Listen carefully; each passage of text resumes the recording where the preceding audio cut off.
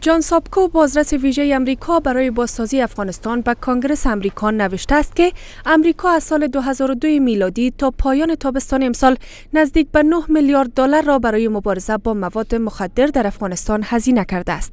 اما هنوز هم مواد مخدر ارزش بیشتری نسبت به کالاهای صادراتی این کشور دارد. در گزارش سیگر آمده است که به گفته دفتر مبارزه با مواد مخدر و جرایم سازمان ملل متحد اقتصاد مواد مخدر در افغانستان میان سالهای 2017 و 2018 میلادی تا دو سوم کاهش یافته بود. اما هنوز هم 6 تا 11 درصد تولید ناخالص داخلی را می‌سازد و بیشتر از ارزش صادرات قانونی کشور بوده است. بخش عمده ادامه کشت و قاچاق مواد مخدر از دید ما قطع نکردن خریدارای بین المللی مواد مخدر هست. به همین دلیل است که ما در بخش مواد مخدر دستاوردهای خوبی نداریم.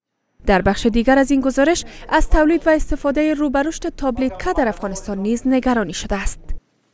افراد آمدن در اینجا با شدن با پول زیادی سرمایه را قسمی مصرف کردن که او جا افتاده نبوده. مخکې موږ په مشخصو ځینو ساحو کې دا کښت لره اوس په ډیرو ساحو کې سوی دی.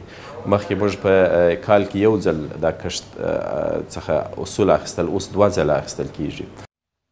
جان سابکو نوشته است که در سال 2018 کشت کوکنار در افغانستان به علت خشکسالی ها کاهش یافته بود. نه مبارزه حکومت با مواد مخدر.